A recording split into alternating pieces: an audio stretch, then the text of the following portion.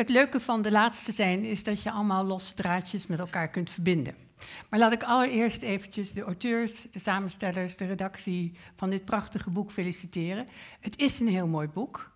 Ik begrijp dat deel 2 en 3 een aantocht zijn. Als dat gebeurt en als de onvermijdelijke herdruk komt, heb ik toch wel één verzoek.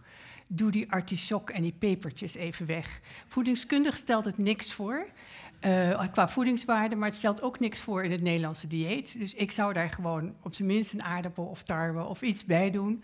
Maar uh, die artichok lijkt me gewoon niet relevant. Excuus. Hij is mooi, hè? Daar niet van. Maar niet relevant in deze. Dat is even mijn, uh, mijn sideline, Maarten, sorry. Um, ik heb me als ik mijn eerste colleges en assistentschappen meereken, heb ik me een halve eeuw bezig gehouden met alles wat met landbouw en voedsel te maken heeft. De eerste colleges waren bij Jo Houtvast onder andere en bij professor Verwerda toen van de plantenteelt. Dus ik ben er al heel erg lang mee bezig en ik voel me ontzettend bevoorrecht dat ik heb, dat heb mogen doen. Want inderdaad, het is een heel complex terrein. Er zitten ook allerlei contra-intuïtieve dingen in. Bijvoorbeeld, om even bij de laatste discussie aan te sluiten, het is niet zo dat meer biodiversiteit per se meer voedingswaarde of een betere waarde op zich is. Dat, dat zijn allemaal hele ingewikkelde dingen. Maar het is wel duidelijk dat die landbouw en voedsel een aandacht hebben vandaag die ik me absoluut niet had kunnen voorstellen toen ik ging studeren. Integendeel, ik heb hele vele keren in mijn leven moeten uitleggen dat op de vraag van wat doet een saai meisje zoals jij in een saai vak als dit, dat het helemaal niet saai is, maar juist een heel erg fantastische set aan kennis, aan vakken enzovoort. Ik heb natuurlijk een groot deel van mijn leven doorgebracht in landen buiten Nederland en buiten Europa ook. Maar met name, eh, toen, ik heb tien jaar in Italië gewoond, waar ik de, voor de Verenigde Naties werkte. En daar werd ik wel heel erg gedrukt op het feit dat voedsel zoveel meer is dan alleen wat ik had geleerd in eerste instantie, namelijk calorieën en van de landbouwkundige kant leerde je dan calorieën per hectare. En van de voedingskundige leerde je, nou, het is eigenlijk gewoon koolhydraten, vetten en eiwitten. En dan een beetje vitamines, dan heb je het wel. Nou, dat simplistische beeld is eigenlijk ontzettend geëvolueerd. En toen ik zo'n 15 jaar geleden weer terugkwam in Nederland, uh, toen ontdekte ik dat iedereen een mening over voeding heeft. We hebben hier 18 miljoen Nederlandse voedingsexperts in dit land. Uh, we hebben er op de wereld ook vele miljarden, zal ik maar zeggen. Maar niet alleen dat. Uh, mensen hebben een mening, een hele sterke mening, maar een mening die ook eigenlijk uh, heel veel onzekerheid maskeert. Want als je rijk bent, is voeding een probleem. Als je arm bent ook. Maar als je arm bent, dan heb je heel weinig keuzes. En dan worden die keuzes gebonden aan wat religie zegt, aan wat er überhaupt uh, voorradig is. Uh, een aantal morele oordelen van wat je wel en niet mag eten. En dan heb je het. Uh, meer keuze is er niet. Dus het is ook niet zo'n debat over voedsel als we vandaag de dag hebben. Ik wil niet zeggen dat er niet sterke verklaringen zijn. Uh, als je het hebt over andere maatschappijen en zeker over uh, lage sociaal-economische klassen door de eeuwen heen. Hè. Het beroemde taboe op varkensvlees, zowel in de islam als in het jodendom, heeft veel te maken met het feit dat uh, men een verklaring moest geven voor het niet consumeren van iets wat eigenlijk zo aantrekkelijk was. En die verklaring is niet dat er allerlei nare parasieten in die varkens zaten.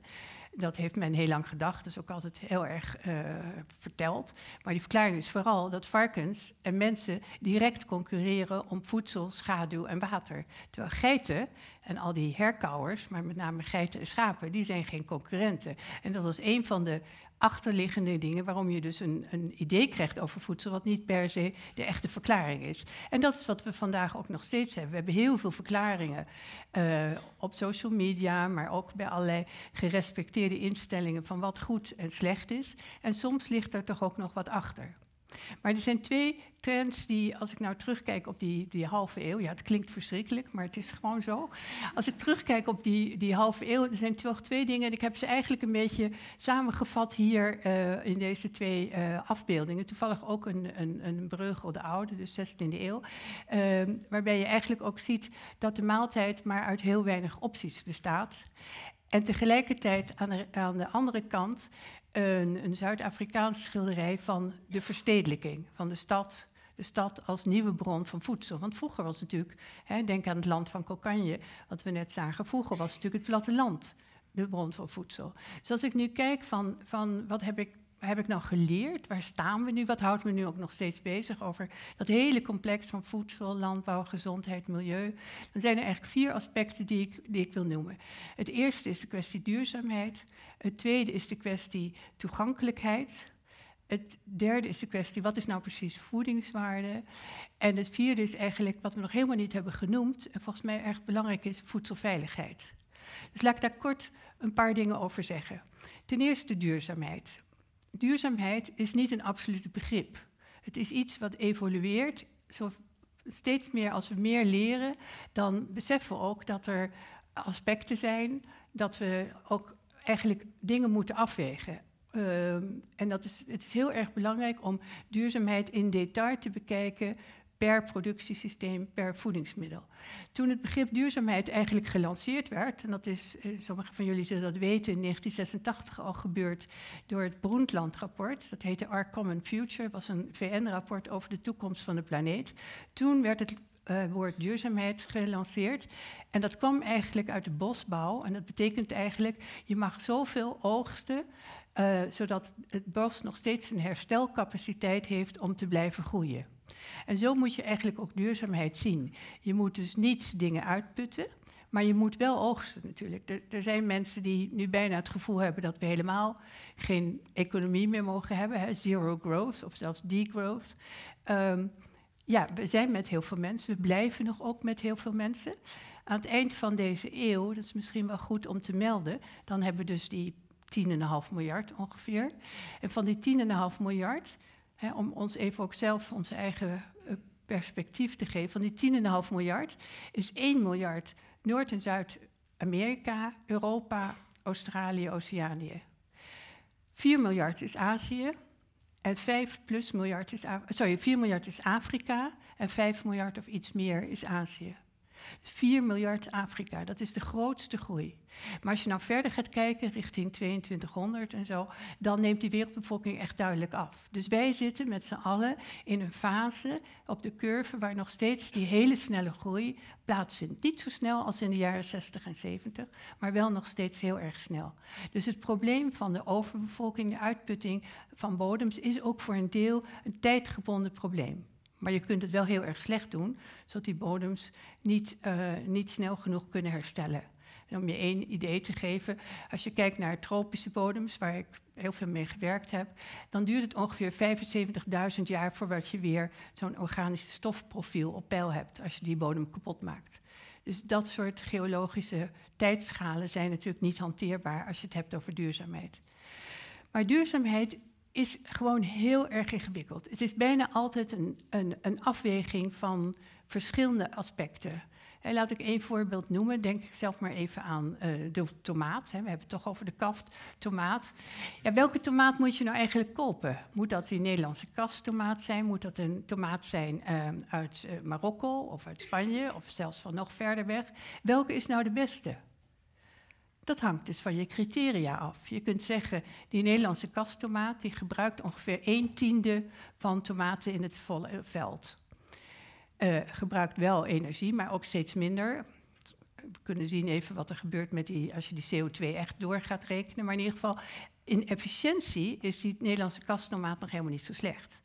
Maar als ik die tomaat uit Marokko koop, inefficiënt qua water, ook niet echt heel handig qua bestrijdingsmiddelen. In die kassen worden eigenlijk geen bestrijdingsmiddelen meer gebruikt. Maar hij geeft wel werkgelegenheid en daarmee inkomen. Dus het zijn, hè, duurzaamheid is niet alleen maar natuur, het is ook sociaal-economisch. Dus dat maakt het al heel erg ingewikkeld. Wat in ieder geval duidelijk is, is dat de natuur, die wij stedelingen zo verafgoden bijna, uh, een romantisch beeld is voor de meeste mensen, die eigenlijk, als je het weer goed analyseert, wel goede handvaten geeft, maar niet de handvaten die de meeste mensen denken. Dus je zoekt op, op uh, social media, dan is natuur, dat is het paradijs, dat is uh, de boer die uh, leunt op het hek en kijkt naar de zonsondergang, dat is de boerin die nog de kalfjes aait enzovoort. En dan verder al die mooie paardenbloemen enzovoort. Paardenbloemen zijn trouwens invasieve soorten, dus daar zijn we niet zo gelukkig mee. Maar goed, in ieder geval. Maar natuur, de natuur, is een jungle.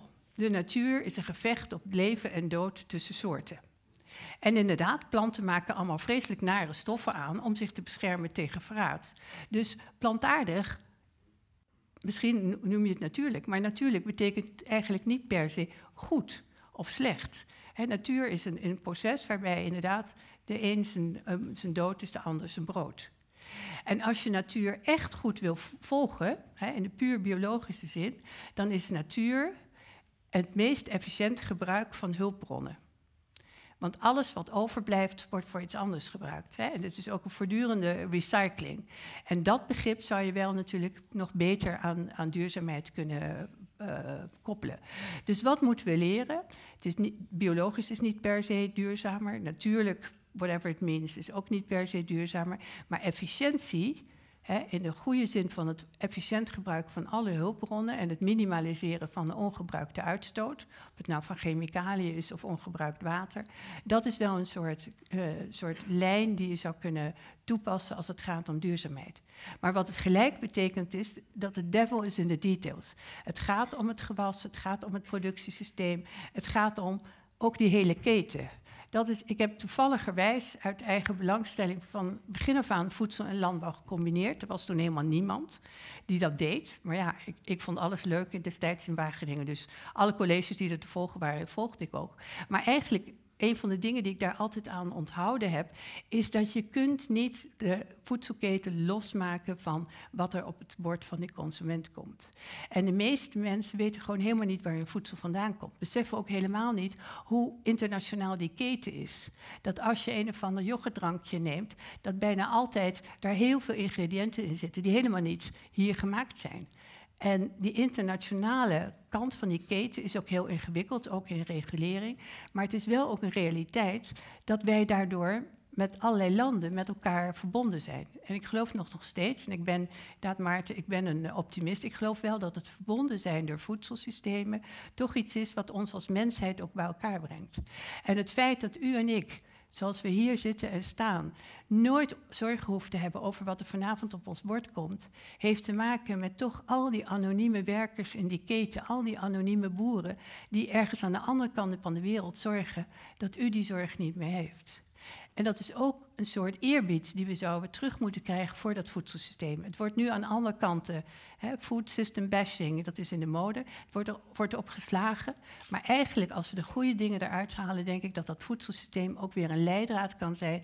En dan kun je beslissen, wat is nou lokaal, wat is het evenwicht, wat kunnen we lokaal ook. En vergeet niet dat wij als Nederland al vanaf de 15e, 14e eeuw zelfs onze granen uit de Baltische Staten onder andere en uit Rusland, Wit-Rusland haalden. Dus zo lokaal waren we vroeger ook niet. Maar goed, ik stop even met duurzaamheid. Dan is mijn tweede, minstens zo belangrijke punt, is uh, de haalbaarheid, de, de, hoe noem je dat, de affordability, de betaalbaarheid en ook de toegankelijkheid van voedsel voor mensen. Het belangrijkste wat ik heb geleerd is dat voeding en voedsel altijd te maken heeft met sociaal-economische klassen. Altijd. Het is altijd een armoedeprobleem. En armoede niet alleen in geld, maar armoede ook in tijd. Het feit dat moeders die bijvoorbeeld alleen voor hun gezin staan, om wat voor reden dan ook, hun kind met een pizzapunt achter de televisie zitten, daar kunnen wij in ons comfort hier een moreel oordeel over hebben, maar het is vaak niet anders. En dan kun je dus daar een aantal conclusies aan verbinden. Je kunt zeggen, misschien moet die pizza wel beter worden. of, of, het equivalent daarvan. Misschien moet die moeder ontlast worden. Misschien moeten die kinderen inderdaad uh, op school meer leren. Misschien moeten die moestuinen nog wel veel groter worden. Ik heb overigens, dat weet Maarten nog niet eens, ik heb overigens ook nog eens een keer, een, niet zo lang geleden, een kinderboek geschreven. Dat heet Hamburgers uit de moestuin. Uh, omdat ik ook juist vind dat wij veel te weinig doen uh, op scholen, niet alleen aan moestuinen, maar ook aan, in het curriculum. Ik vind het eigenlijk onzin dat wij geen vak hebben op school wat voeding, gezondheid en, en landbouw en milieu aan elkaar koppelt. We hebben wel geschiedenis, maar dit niet. Dat, terwijl het zo dicht bij alles en iedereen zou moeten staan. Dus die toegankelijkheid is een groot probleem. En die toegankelijkheid uh, wordt gekoppeld enerzijds. Uh, dus het is moeilijk om gezond te eten. Het kan wel, het kan ook acceptabel. Ook in supermarkten kun je, als je goed kiest en de tijd ervoor hebt, goed, eh, een, een voedingsstroompatroon uh, samenstellen. Maar het is ook gekoppeld aan onze obesogene omgeving. Een van de dingen die me het meest is opgevallen toen ik weer terug in Nederland kwam, was dat iedereen, ik had toen een kamer, ik werkte bij de, bij de UvA, ik had een kamer op het maagdenhuis. Iedereen liep langs mijn raam te kauwen. Iedereen was aan het eten, voortdurend, de hele dag. En dan kom je uit Italië, waar dat helemaal niet zo is. dus het idee dat er ook voortdurend winkels zijn. En, en, ik heb dat ook wel eens tegen de burgemeester van Amsterdam gezegd. Hoe is het mogelijk dat er nog vergunningen worden afgegeven voor winkels die alleen maar Nutella-wafels of whatever het is, uh, Nutella-dingetjes verkopen? Dat kan gewoon niet meer. dus die obesogene omgeving is echt een heel groot probleem. Kun je daar met belasting iets doen? Dus je kunt die Nutella misschien nog wel belasten. Ik ben niet van overtuigd dat uh, belastingen in alle opzichten helpen. Want de, de, de, de, kracht van het willen kopen van iets, bijvoorbeeld van, van vlees of zo, is toch vaak zo groot omdat het een speciale betekenis heeft. En een van de dingen die, die we ook nog niet genoemd hebben vanmiddag is het belang van uh, mensen met een migratieachtergrond. Daar zijn de waarden uh, vaak heel anders. De identiteit is een groot issue. Dat is, iedereen is zijn voedsel, iedereen is identiteit. En als iemand mij straks in de pauze gaat zeggen dat hij of zij altijd een, uh, wat is het, macchiato, latte, haver, uh, flat, huppeldepup drinkt, dan heeft hij of zij zich onmiddellijk gepositioneerd in mijn waardesysteem. Maar ik zeg niet negatief of positief, hè? Dus, maar Identiteit is, bedoel, je kunt uh, een leuke oefening doen met studenten om te vragen om, om elkaars um, ijskast te, of voorraadkast te beschrijven. Identiteit is voedsel en voedsel is identiteit. Maar uh, het mooiste in Nederland is dat we heel veel mensen nu met een immigratieachtergrond hebben. Dat geeft een diversiteit en een variatie aan voedsel die we eerder niet gehad hebben. De, de keuze aan voedingsmiddelen is, is geweldig toegenomen in Nederland, in Europa, in de wereld. Maar wat tegelijkertijd ook belangrijk is, is dat we beseffen dat keuze niet per se dingen makkelijker maakt, ook niet per se gezonder maakt. Hoewel je wel kunt zeggen, en dan kom ik op mijn, mijn volgende punt, uh, voedingswaarde, hè, wat is goed voedsel, heeft in ieder geval iets met diversiteit te maken. Diversiteit nog niet eens in het productiesysteem, maar diversiteit in wat er op je bord komt eet divers, eet niet te veel, drink liever niet, zorg voor zo min mogelijk vetten, suiker en zout. Daarmee heb je eigenlijk wel de voedingsadviezen zo heel erg met excuses aan het voorlichten of het bureau voor de voeding, maar daarmee heb je het wel ongeveer platgeslagen. Want wat is goede voeding? Ten eerste heeft het niet te maken met individuele voedingsmiddelen. Je kunt niet zeggen, vind ik, als iets wat althans in Nederland op de markt komt, dat het per definitie slecht is. Je, mag een pot pindakaas kopen en als je die alleen maar niet achter elkaar uitlepelt, dan is er geen probleem met een boterham met pindakaas.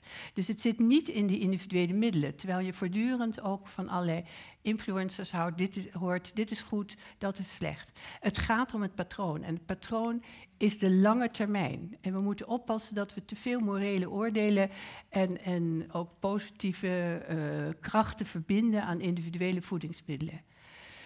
Maar er is één uitzondering, althans in de discussie. Uh, en dat is vlees. Vlees is een beetje het hete hangijzer van alles geworden. En mijn mening daarover is, is genuanceerd. Ik ben absoluut geen voorstander van het volledig uitbannen van dierlijke producten. Ik denk dat dat gezondheidskundig onverstandig is. Uh, denk maar aan zwangere vrouwen, lacterende vrouwen, opgroeiende kinderen en, uh, en ook ouderen met name. Die concentratie aan, aan eiwitten, mineralen enzovoort is wel zo groot dat je in ieder geval iets in stand moet houden. Dat hoeft geen rode biefstuk te zijn, het kunnen ook natuurlijk zuivelproducten zijn, maar wie zuivel zegt, heeft als bijproduct vlees, hè, want er komt voorlopig geen zuivel uit de fabriek, denk ik. Misschien is dat wel uh, een van de mogelijkheden, maar voorlopig betekent zuivel dat er ergens een koe is en een kalfje. Maar vlees wordt enigszins gezien als nou ja, de toetsteen. Als je vlees eet en dat durft te zeggen, dan zeg je iets over jezelf. Ik denk dat het van belang is dat we kijken naar wat er voor alternatieven zijn. Een van de dingen die heel goed mogelijk is, al eigenlijk al 10, 15 jaar, is dat je bijvoorbeeld in verwerkt vlees, wat het meeste uh, wordt geconsumeerd, hè, dus denk aan worstjes, maar ook dingen op pizza, soepen enzovoort, daar kun je heel makkelijk tot 25% van de uh, dierlijke uh, eiwitten met name vervangen door plantaardige eiwitten, zonder dat de consument last heeft van problemen met textuur of smaak en dergelijke. Maar dan kom je al in de richting van ultra-processing, dus van heel erg bewerkt voedsel. En dan heb je natuurlijk toch weer problemen. Je bent, uh, hè, als je soja als, met name of andere boonachtige als uh, ingrediënt wil nemen, dat je te veel verwerking hebt. Je maakt de, de, vezels weer kapot, je verliest een heleboel dingen, je moet er smaakstoffen enzovoort aan toevoegen. Dus uiteindelijk is dat niet echt een oplossing. Dus heel matig vlees en, en laten we zeggen ongeveer 99% van wie ik hier zit zitten, wij kunnen allemaal heel goed zonder vlees. Misschien af en toe een heel klein beetje, maar wel toch wel zuivel. En een ei, ik kan niet nalaten de nadruk op leggen. Af en toe een ei, met name voor kinderen in ontwikkelingslanden, maakt het verschil echt tussen achterblijvende groei en hersenontwikkeling en niet. Dus wat is goede voeding nou? Het is niet een individueel product. Het is een patroon. Het is een lange termijn. Het is lastig natuurlijk voor beleid. Het is lastig voor mensen om dat te regelen. Ik zeg wel eens, goede voeding is zoiets als, als de liefde. We weten allemaal ongeveer wat het is, maar niemand kan het precies definiëren. Ja, we kunnen het heel erg goed biochemisch definiëren, maar in de voeding zit natuurlijk ook die belangrijke sociaal-economische component. Er zit in dat je met mensen eet dat je iets uitdeelt. Dat je deel bent van een traditie. Dat je misschien ook beseft dat je deel bent van die hele ingewikkelde voedselketen. Dus goede voeding is veel meer dan alleen maar een optelsom van ingrediënten. En ik denk dat het goed is om dat vast te houden. Kom ik bij voedselveiligheid. Want dat is wel een van mijn punten van zorg. En dan bedoel ik niet het vieze aanrechtdoekje van de gemiddelde consument. Dat is ook een probleem. Um, ook niet de, de, temperatuur van de ijskast, die niet op 7 graden staat. Maar vooral als we denken aan, aan toekomstige ontwikkelingen. Hè. We, willen nu meer uh, voedsel wat uh, misschien gerecycled wordt. Uh, we willen ook novel foods. Dus we willen meelwormen, uh, insecten van andere zin. Ik heb wel wat zorgen over de pathogenen die bijvoorbeeld op die insecten kunnen zitten. Uh, bewaarbaarheid, hogere temperaturen uh, kan ook in de voedselketen een probleem zijn. En al die leuke romantische marktjes, boerenmarktjes hier en daar, uh, hoe het daar aan het eind van de dag staat met sommige producten, willen we misschien ook niet weten.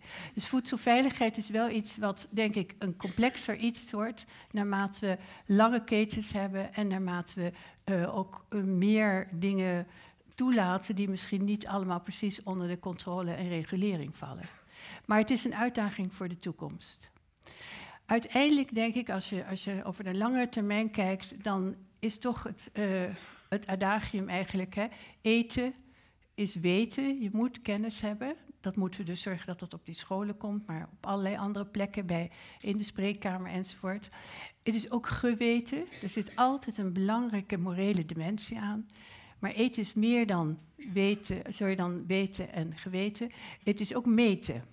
En het lastige van dit hele vakgebied is dat je zo verschrikkelijk veel kunt meten. En dat we eigenlijk steeds minder ook weten wat betekent het nou precies.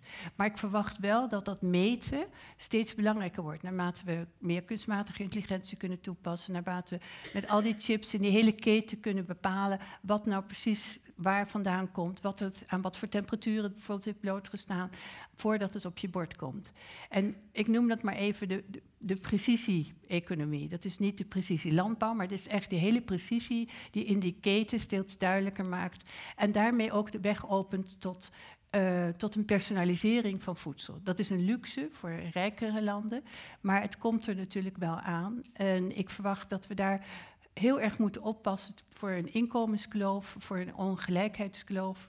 Het kan niet zo zijn dat een deel van de wereld helemaal nog achterblijft als het gaat om wat nou goed voedsel is. Zeker in een situatie waarin ze ook patiënt zijn geworden. En dat een ander deel van de wereld allerlei leuke gadgets heeft die voortdurend vertellen: Oh, mevrouw, uw calcium is mm, niet helemaal goed.